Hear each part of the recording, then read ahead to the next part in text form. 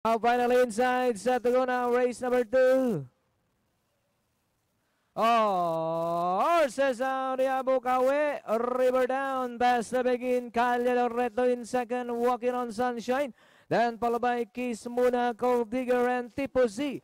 He's running up the tail of the field. Bukawe, River down, goes on by about two lengths. Calle Loreto in second, walking on sunshine, Kiss Muna.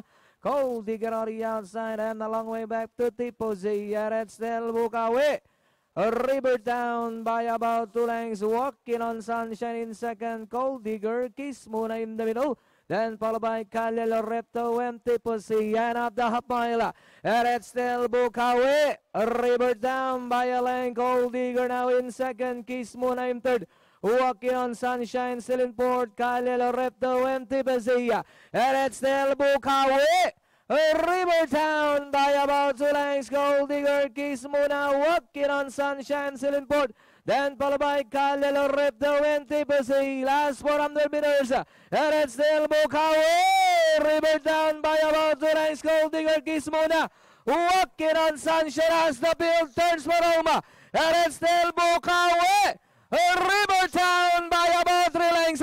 Walking on Sunshine. Kiss muna. Tipsy on the outside down to the finish, and it's still Bukawi Riverton entering the finish line. Welcome to the club apprentice AJ Padilik on Bukawi Rivertown. Second, Tipo C.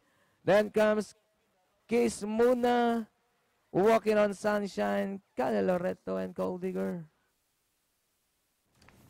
2, our unofficial winner, entry number 3, Bukawi River Town, skippered by apprentice jockey JT Pabilik. At masasegunda dyan sa East Tifosi, 4 Kiss Muna,